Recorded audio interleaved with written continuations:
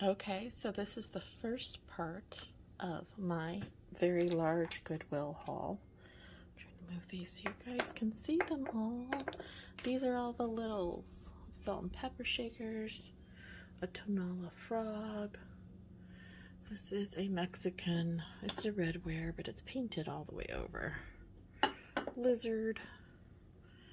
A standalone salt and pepper shaker, but who doesn't need a squirrel? In a top hat? Well, I'm not sure. Is it a squirrel? Is it a dog? I'm not sure. But it has a top hat, so you have to have it.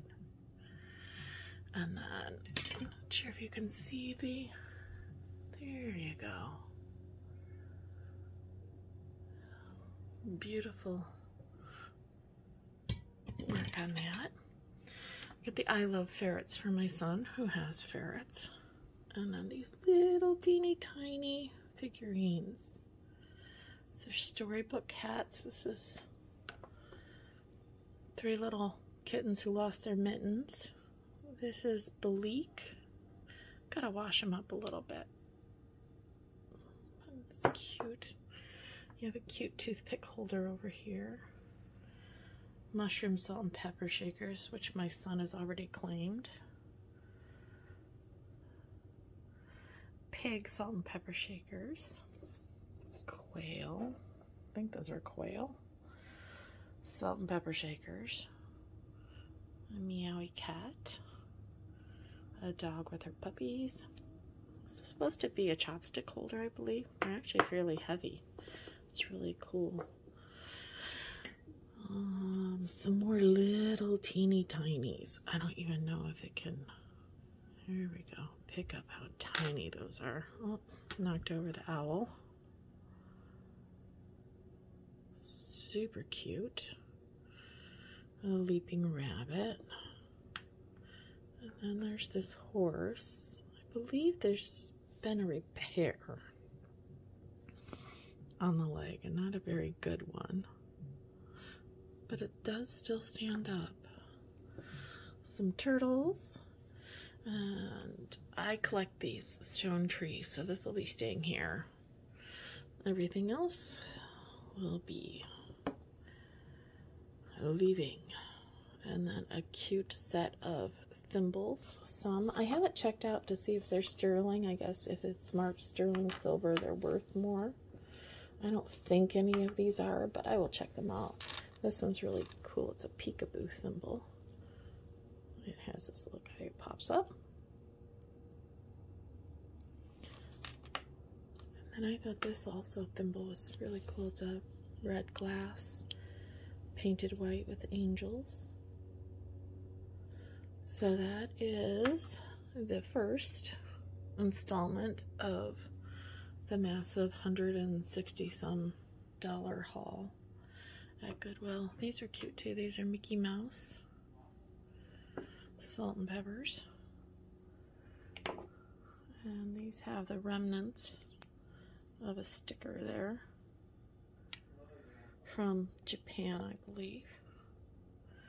So once I get the next installment up on the table, I will do that one. Okay, so this is part two of the 160 some dollar Goodwill haul that I did just last week. I'll go slow and then I'll go over all items.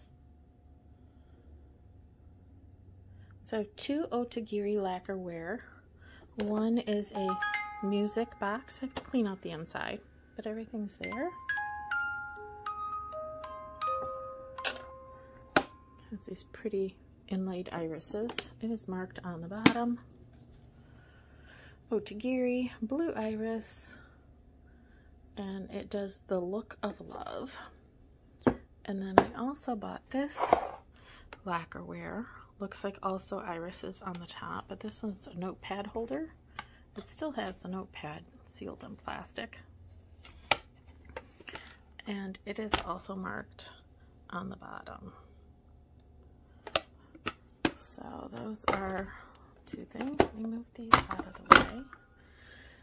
This I had to look up when I was in the store. It's a Tony Wood Studio mug. They actually resell very well. I was surprised at the price. I can't remember right now, but usually I expect about 8 to $10 for mugs, and this was way over that. So um, I was pleased with that, 50 cents for the mugs. And then just a cute owl mug. I would be keeping him, but he's too small for me. He would look great as a planter, though. I don't have anywhere to put plants in my house and another cute chick mug.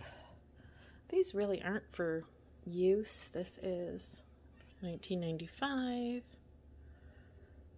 Something creative.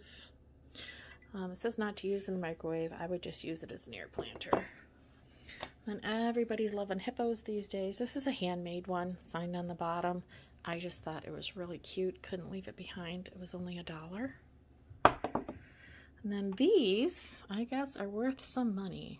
Not something I would usually pick up, but I used Google Lens and their resale value is pretty good. I'm not even sure what they are, what they're used for. Um, Russian probably. And then always this cut to clear Bohemian glass is always a good reseller. Nambe, when you can find it, pick it up. It does resell pretty well, especially if it's not all pitted. So I got this Nambe, and then this is a more current Nambe, but it still has the mid-century modern lines that people like with the teak wood. Um, it was very reasonable. I didn't pay over $5 for anything on this table except for the bookends that I'll show you at the end. Um, a carnival goblet. I believe that was a dollar. This one was $2. It's made in Italy. This is the stuff I love, even though it doesn't sell very well. This pink elegant glass.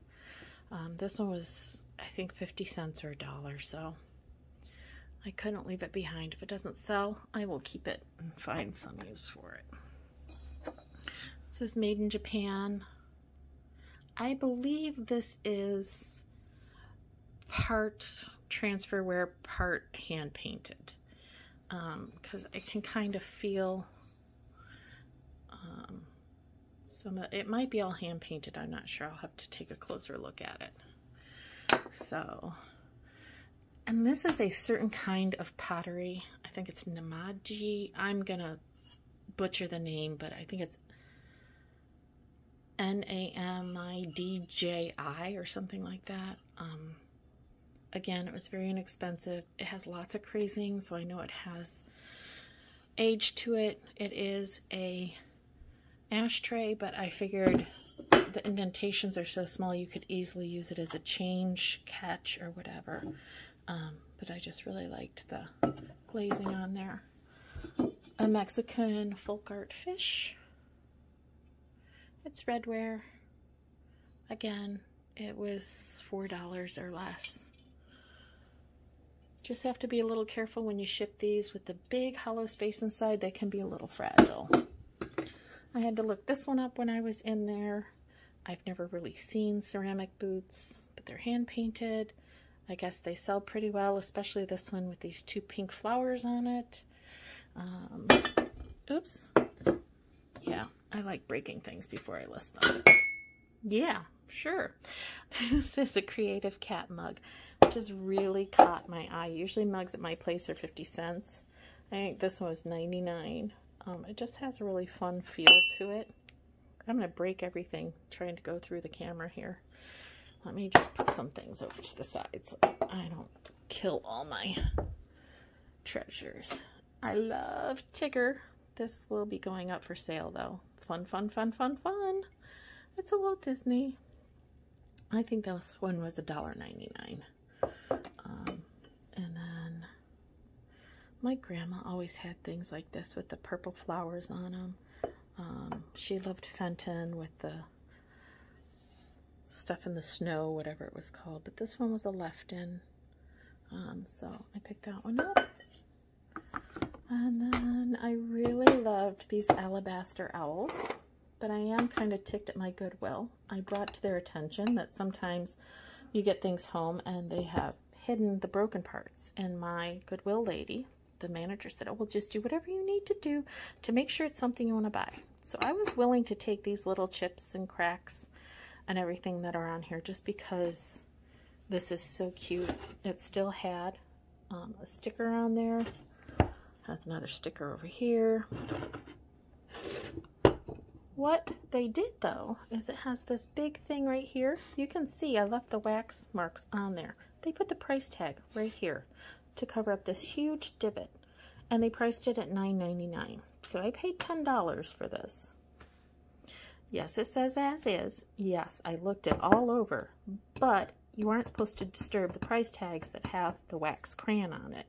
So, I am debating whether I'm going to take it back and complain. Mine does not take any returns for any reason. Um, so, that is the second installment. And hopefully I'll be back in just a little bit with the third installment.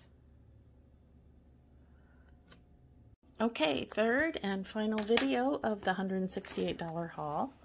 This is one of those messenger bags. It kind of has that, you know, plastic, I don't even know what material it's made out of. I've seen some from England that can sell pretty well. It was $4.99. This one's by Kennox.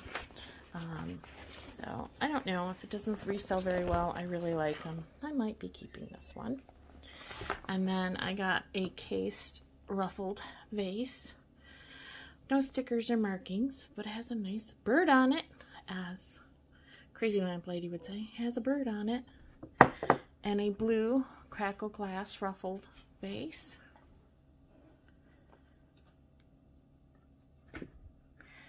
And a candlestick. Looks like it's from Italy. I also got these Art Deco crystal candlesticks. They were like two for three dollars, I believe. In the back, I didn't open it up yet, but um, it's kind of a stand and you can put necklaces on it so I can use those when I'm listing jewelry. Thought this would be great come Christmas time. It's got the, uh, the atomic along with the trees and the flying reindeer. He's missing the other half of his body right there, but most of it is intact enough. Um, it was like 99 cents. This is a luncheon plate. You can see the divot there for the mug, but I just thought it was pretty as a plate by itself. Um, it's by I. Godinger and Company. And then I also got this vanity tray. It has a lot of wear on it, um, but again, it wasn't very much, and I can't leave those behind. It has no markings on it, but just really pretty um, hand-painted flowers on it. I usually don't pick up collectibles, but this is a Mary Moo Moo, and um, the only reason I did is because it had the John Deere, um, and I figured between Mary Moo Moo collectors and John Deere collectors, and the resale comps were pretty good on it. So this was only a dollar, divided lusterware plate, made in Japan. There's lots of crazing on it. Um, the only thing I don't know, if somebody knows and wants to leave in the comments why it has holes, I have no idea.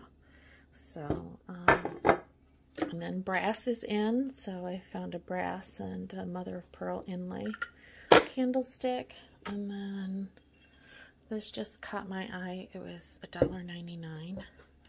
It is signed on the bottom. I don't um, know what that signature is. If somebody knows, that would be great. But it just was very interesting um, finish to it.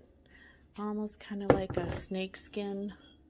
Um, it's just very well made. And for not a lot of money, I like to save those treasures whenever possible. And then this I bought for me. It's a great set of um, silver mixing bowls, but it's got the rubberized bottoms on all of them. So it was a set of eight. They were all priced individually, but I think by the time it all came out, it was probably 12 to $15 for all eight of them. And to me, that was a really good deal because mine were stacking so high in the cabinet. So that is it, folks the end of the $168 haul. Hope you enjoyed watching. If you want to drop me a comment of what your favorite thing was, I would appreciate it. Thanks.